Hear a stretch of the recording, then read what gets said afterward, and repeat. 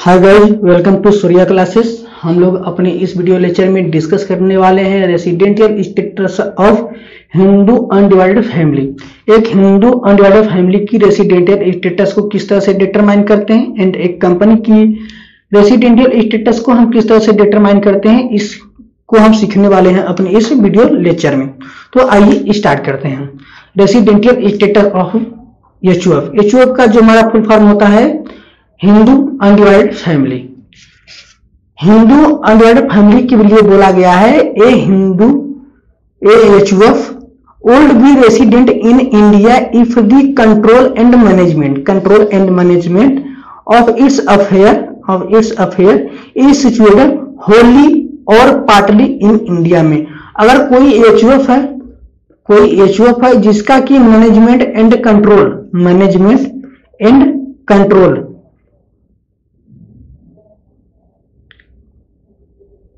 किस चीज़ का? इसके अफेयर्स का, इसके डिसीज़न का।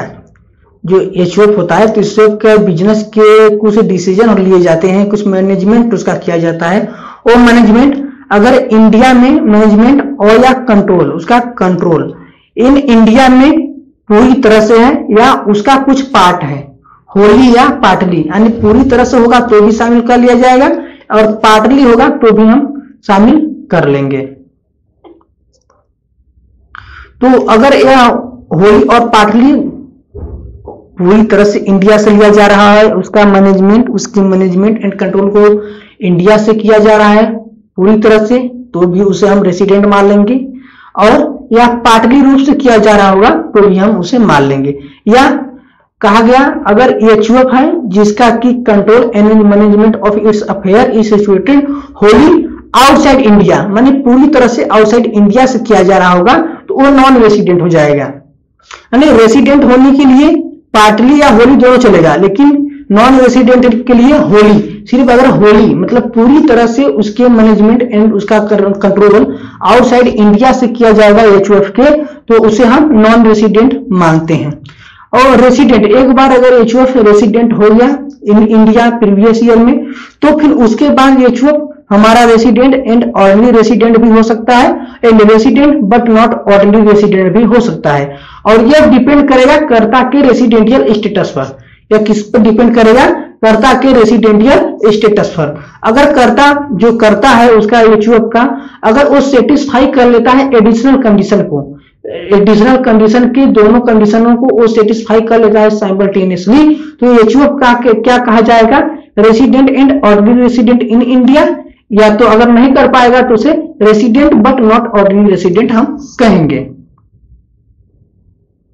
यानी एक बार एक बार अगर किसी एच की रेसिडेंटियल स्टेटस को हम डिटरमाइन करते हैं और एक बार अगर रेसिड वो रेसिडेंट हो जाता है एच तो फिर उसके बाद हम चले आते हैं उसके कर्ता की रेसिडेंटियल स्टेटस पर और उसको चेक करते हैं हम क्या? उस उस एच का कर्ता इंडिया में रेसिडेंट एंड ऑर्डनरी रेसिडेंट है या resident but not ordinary resident है। अगर वह कर्ता रेसिडेंट एंड ऑर्डनरी रेसिडेंट रहा होगा प्रीवियस ईयर में तो एच भी क्या हो जाएगा? रेसिडेंट एंड ऑर्डनरी रेसिडेंट हो जाएगा। अगर karta resident but not ordinary resident होगा तो हमारा एच भी resident and resident but not ordinary resident हो जाएगा। ठीक? आइए देखते हैं एक प्रॉब्लम को सॉल्व करते हैं। यहाँ बताइएगा problem one the control and management of the of H is situated India माने क्या क्या कहा क्या कह रहा है कि the control and management of ये H it is situated in India इसका मतलब एच हमारा क्या है? रेसिडेंट हो गया। अगर उसका कंट्रोल एंड मैनेजमेंट पूरी तरह से, पूरी तरह से इंडिया में उससे किया जा रहा है या पार्टली रूप से इंडिया से किया जा रहा है? तो वो क्या हो जाएगा? उस प्रीवियस ईयर के लिए रेसिडेंट हो जाएगा। यानी ये क्या हो गया? अब रेसिडेंट तो हो गया। रेसिडेंट हो गया। The manager of the H visited England with his wife from चौदह आठ दो हज़ार अठारह से लेकर थर्टी सिक्स, माने उसका जो एच का जो मैनेजर है, जो करता है, वो वो और उसकी वाइफ चले जाते हैं इंग्लैंड में। कब से कब तक के लिए? 14 अक्टूबर 2018 से लेकर 30 जून 2019 तक के लिए वो आउटसाइड इंडिया रहते हैं। तो चलिए, हम इनकी, ये इस करता है, इसकी रेसिडेंटियल स्टेटस को चेक कर लेते हैं और फिर उसके बाद हम चेक कर लेंगे कि आ, हमारा जो एच है वो रेसिडेंट एंड ऑर्डिनरी रेसिडेंट है या resident but not ordinary resident है? तो सबसे पहले सोल्यूशन हम स्टार्ट करते हैं। सोल्यूशन सोल्यूशन में देखेंगे। Control and management of a H is situated in India if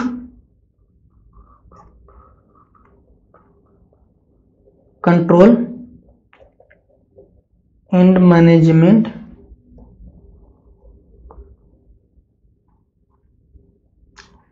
Of AHF is situated in India. Yes एक कंडीशन उन्होंने सेटिस्फाई कर लिया, इसका मतलब क्या हो गया? हमारा इचुअल रेसिडेंट हो गया। Then we are check the additional condition of करता।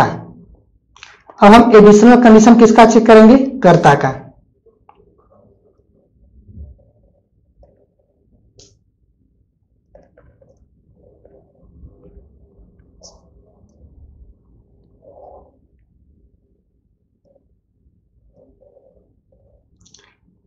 ऑफ़ करता। ऑफ़ दी एच एफ़ करता के एच एफ़ की एडिशनल कंडीशन को चेक करेंगे। क्या वो ऑर्डनरी रेसिडेंट है या? तो हमें देखने पे ही लगता है क्या? हम देखेंगे क्या वो फोर प्रीसीडिंग सॉरी वो सेवन प्रीसीडिंग प्रीवियस ईयर में पहला ही ही is resident two preceding previous year out of ten preceding previous year हाँ वो रहा है भाई रेसिडेंट रहा है क्योंकि वो कब जा रहा है? वो 14 अक्टूबर 2018 को पहली बार जा, जा रहा है। कहाँ जा रहा है? लंदन इंग्लैंड में जा रहा है। उसके पहले तो वो इंडिया में ही रह रहा था। इसके पहले तो इंडिया में ही रह रहा था ना अपना। तो क्या है? टू प्रीसीडिंग प्रीवियस ईयर में क्या है? वो रेसिडेंट है। ये कंडीशन इस कंडीशन को वो सेटिस्फाई कर रहा है। अब देखेंगे सेकेंड वाला कंडीशन सेकेंड वाला कंडीशन क्या बताता है? कि वो क्या हुआ? सेवन प्रीसीडिंग प्रीवियस ईयर में seven hundred thirty day India में रहा है या नहीं रहा है? या मोर कहा गया? हाँ रहा है भाई। इसके बाद तो वह क्या रहता था? थ्री सिक्सटी फाइव डे तो इंडिया में रहता था ना, जो इसके पहले के जो प्रीवियस ईयर पढ़ेंगे, उसमें थ्री सिक्सटी फाइव डे तो वो इंडिया में ही रहता था अपना। तो इनका इसको एड करेंगे तो वो बहुत ज़्यादा डे आ जाएँगे। यानी वो दोनों कंडीशन सेटिस्फाई कर रहा है। इसका मतलब ये हमारा क्या है? ये एच हमारा क्या है? रेसिडेंट एंड ऑर्डनरी रेसिडेंट कहा जाएगा।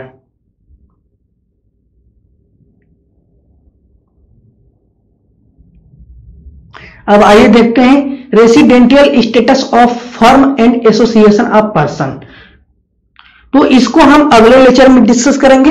और तब तक के लिए हम जय हिंद।